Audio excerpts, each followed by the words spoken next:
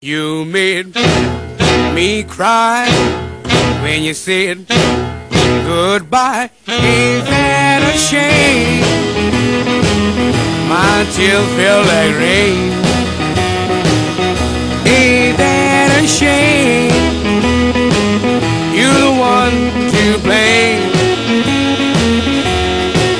You broke my heart when you said we'll part. A shame? My tears feel like rain. Go cat, go, but don't step on my blue suede shoe. Well, you can do anything off my blue suede shoe.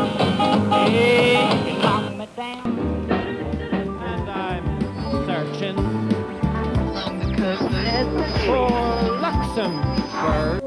This is Radio Luxembourg, your station of the stars, broadcasting on 208 meters medium wave. It's time for Top 20. Hi, everybody. This is your DJBA Barry Alldis at the microphone. It's great to be with you again. One, two, three o'clock, four o'clock, rock. Five, six, seven o'clock, eight o'clock, rock. Nine, ten, eleven o'clock, twelve o'clock, rock. We're gonna rock around the clock tonight. Put your glad rags on.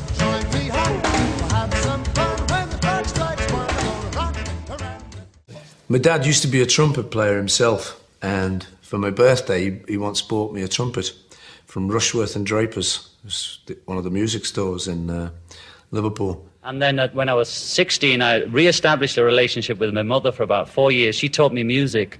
She first of all taught me the banjo, and from that I progressed to guitar. She, the first song I learned was "Ain't That a Shame," an old rock hit, Fats Domino. My mother was absolutely superb at it. She played every instrument going, and she was teaching John to play the banjo. Um, and we remember that. We remember him practicing the chords with my mother with her hand on the frets and John strumming, and then they'd do it the other way round. And um, my mother was a perfectionist. He had to do it again and again and again until he got it right. But I suddenly figured out that I wouldn't be able to sing with this thing stuck in my mouth. So I went back to the shop and traded it in for a guitar. So that was a Zenith, first guitar I ever had. Some of them were the first songs I ever learnt that were rock and roll.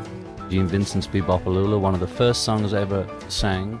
Currently, in the top five sellers in America, Gene Vincent does his famous recording hit, Bebop Paloola. Well,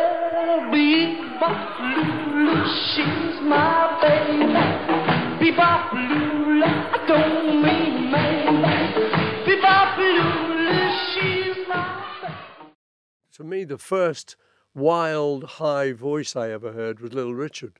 You know, um, it's all from gospel. You know, it's all Straight out the all, church, It's all yeah. there, yeah. But uh, it was just amazing, and we were kids, you know, and it was such an influence.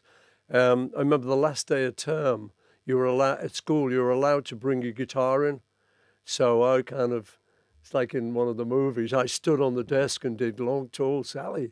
You know, you went to see those movies with Elvis or somebody in it when, when we were still in Liverpool, and you'd see everybody waiting to see him, right? And I'd be waiting there too, and they'd all scream when he came on the screen, right?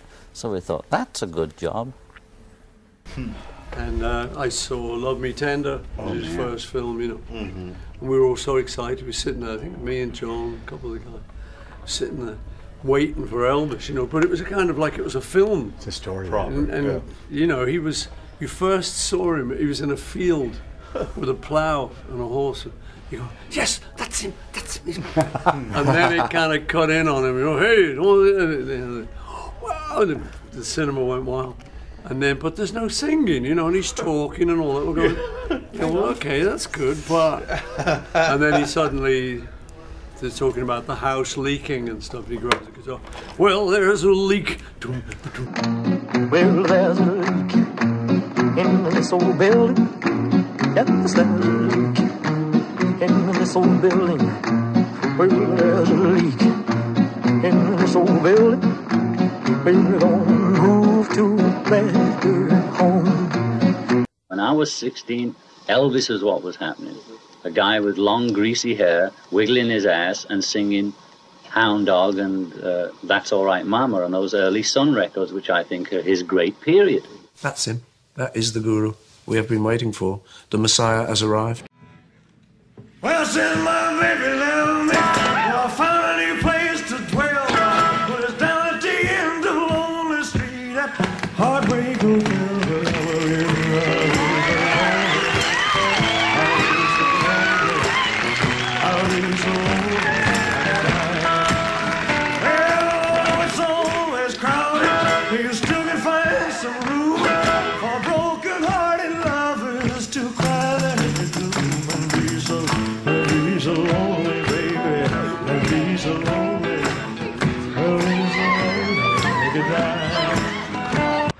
were some of the other people that, that you listened to when you were in Liverpool just starting?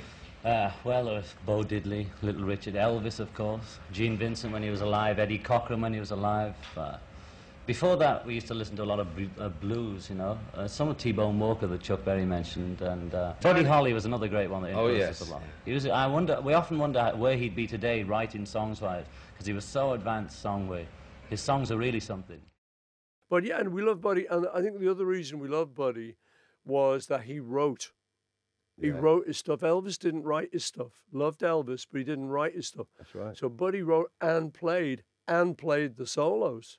Yeah. So he was a self-contained guy, which is what we were trying On to his Fender em- Strat, yeah. Yeah, which is what we were trying to emulate, and we were trying to. Uh, I mean, the first thing we could not work out was the beginning of "That'll Be the Day," and then I think George came on.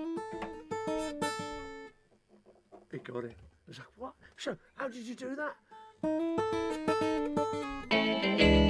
Well, that'll be the day when you say goodbye. Yes, that'll be the day when you make me cry. You say you're gonna leave. You know it's a lie, cause that'll be the day when I die. Well, you give me all your loving and your dirty loving, uh, all your hugs and kisses and your money too. Well, you love me, baby. Still, you tell me maybe that someday, well.